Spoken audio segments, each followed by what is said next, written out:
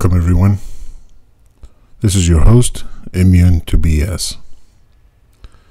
Hey, the title of this video today is The Sun and the Moon You Cannot See Light.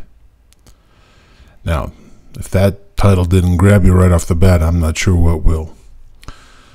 But what I'm going to show you here, play a couple videos for you, a little commentary. It blew my mind, and I think it'll blow your mind too. I want you to consider this for a moment. Do you see light? Or do you see what is reflected by the light?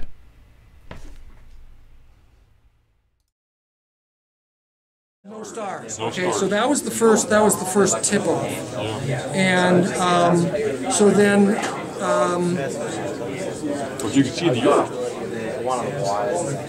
you can see light reflected off of objects. Okay, as we look in this space, we we say this place is filled with light.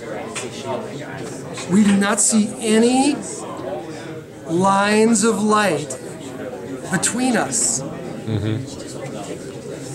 We only see what is illuminated by the light, what the light reflects off of. Yeah. We do not see the light itself. Here, you see that laser beam? Right. No, you don't see the laser beam. You see the laser beam? No, it's because it's off. Boy, Right that- every time. That worked every time, man. Okay, you can see where the. Okay, between between you and me. No. No, it's not there. You cannot see light. Okay, it's really important to understand this. Sometimes you can see it. Oh, that's right. You see the dust. You can you see the dust particles, right? You see only what light reflects off of. So when you actually look at a source in outer space, it is not transmitted. Light is not transmitted in the visible spectrum in outer space. Period. So then, how would the Hubble It will blind you, but you can't see it. So They do need those damn So basically, gold reflectors. But you can look straight at the sun, not see anything, and get and, and you're blind. It is not visible. the, the word telescope has to have some kind of lens light It needs a, diffra- a diffraction lens. Okay, what what um, what really sealed the deal for Tom Brown uh, in his research is he found one of those um, you know coffee table you know like you know 18 by 24 you know uh, you know coffee table things you know that cost you know 500 bucks. It had 400 pages in it, 5,000 photographs of the sun. It was it was shown in every spectrum, you, you know, gamma rays and infrared, and you X-rays, you name it. There were in that book, put out by NASA as like the definitive study of the sun. There was not one single photograph in the book of the sun in the visible spectrum. None. It was taken from outer space. Taken Not from taken from outer space. Right. What you see is the refraction of the sun in the upper atmosphere. That's all you see. That doesn't have a microphone. That is not what it looks like. And the minute you get out of the atmosphere, It's gone. you got no, no reflection between you and it. You can't see it. So if you took a, if you went in outer space and took a pinhole camera with just raw photographic film on the back, Something that, that no that- lens in between to diffract with, you're not going to get an image of light. you may get an image in the, in the infrared or something else. There is no Okay. There's nothing in the visible spectrum. The visible spectrum effect of the sun is created by the upper atmosphere. Right. So the Earth, they generate the Earth reflecting off the atmosphere. No, the radiation from the sun. I mean, we're, we're I mean, but the thing is, what you see is you see a, a yellow orb in a blue background because the upper atmosphere actually diffracts Right. the light into those two spectrums. Right. You don't just see orange against black. I mean, You don't just see blues, you know, you always see the yellow and blue. So if, I understand it correctly, if I took the pinhole camera and pointed it at the sun, I will get no image. But if I pointed it at the moon or the earth, I would get an image because it's reflecting off. You see the objects and the that the light reflects off of. But the sun, I would get no image unless I was in a different Because you spectrum. were pointing it right at the source of light. Because you can't, because light is not visible. right. You cannot see the light.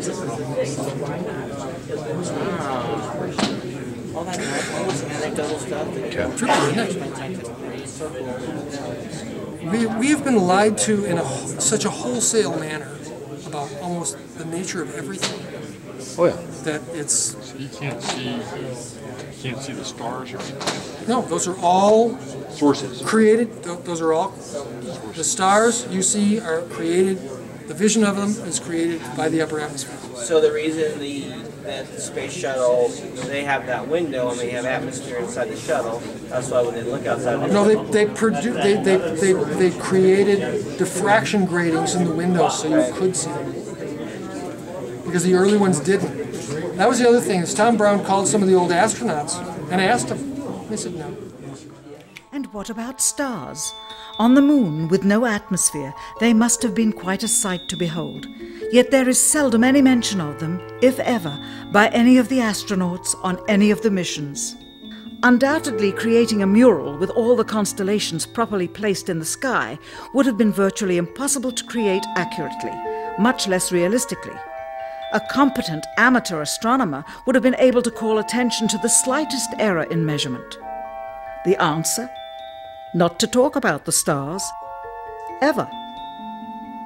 In their post flight press conference, it was the only question to which Neil Armstrong responded with an absence of memory. When you looked up at the sky, could you actually see the stars and the solar corona in spite of the glare? We were never able to see stars from the lunar surface or on the daylight side of the moon by eye without looking through the optics. Uh, I don't recall during the period of time that we were photographing the solar corona what, what stars we could see. I don't remember seeing any. So once again, what NASA says about the sun, the scientific community says about the sun, it's all lies. Basically BS. Hiding the truth. Why? Why is the source of light hidden from everyone? Is it outside of the supposed dome? if the light truly is only visible once it hits the atmosphere or the upper atmosphere, now you have to ask the question is the source coming from the outside of the dome or is it coming from the inside of the dome? Could it be inside the uh, North Pole, projecting the light outward towards the upper atmosphere, and then reflecting the light back? That's just one question. One if. Another if is is it the same light source that lights both the moon and the sun?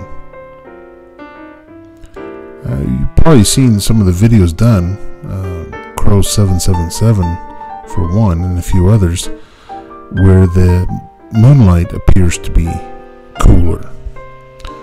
Um, Eric Dubay seems to think it, or believes that it's it actually has the opposite effect of the, the sun. I don't know if that's true. I haven't done the test myself, but um, the question has to be asked is it the same source but hitting two different um, destinations, thereby causing two different lights? Peter Lindemann is correct. We have been lied to in a wholesale manner. And I don't know the answer to these questions. And I'm just posting this video in hopes of someone else coming up with the answers because I don't have them. But it is clearly evident that once again we're not being told the truth about the sun and the moon and the light.